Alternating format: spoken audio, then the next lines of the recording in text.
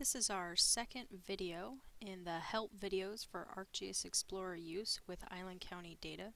In this video we're going to talk about how to download the Island County parcel shapefile off our website, save it locally, extract the files from a zipped folder, and then use them to upload ArcGIS Explorer.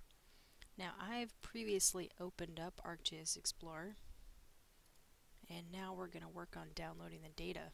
So we're going to click on the ArcGIS Explorer and GIS Files link. And from here, we're going to click on the Island County parcels.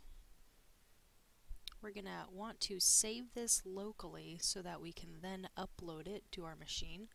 So we're going to save as, and I would recommend putting it somewhere you can find it again.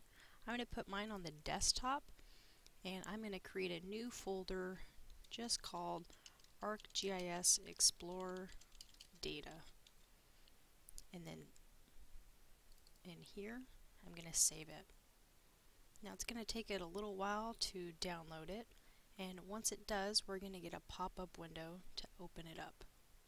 So now that the file is done downloading, we're going to open up the folder, and you'll see that it has a little zipper on it. That means it's a zipped file.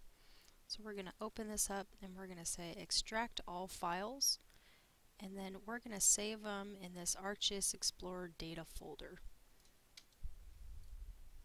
And then we're going to have show extracted files when complete.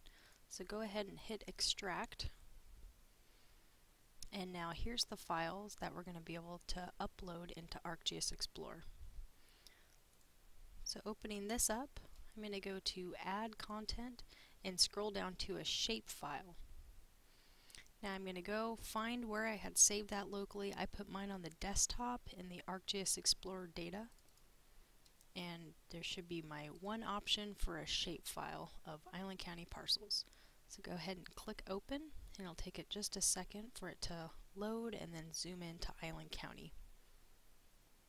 Now that my parcels have uploaded, I'm going to click on the little arrow and I wanted to change this symbol. So I click on the symbol and then I'm going to right click, scroll down to symbol, and then I'm going to go from a solid fill to an outline fill so that I can see the outline but also work with the aerial.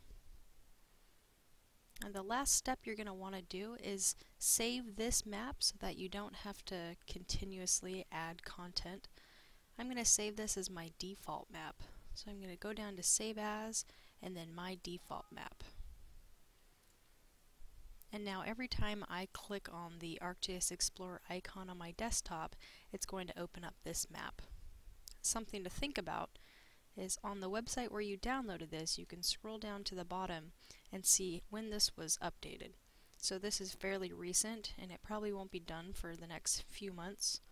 There should be somewhere between 10 and 20 map changes per update. So just something to think about. And in the next video, we're going to talk about how to use some of these tools in ArcGIS Explorer with the data.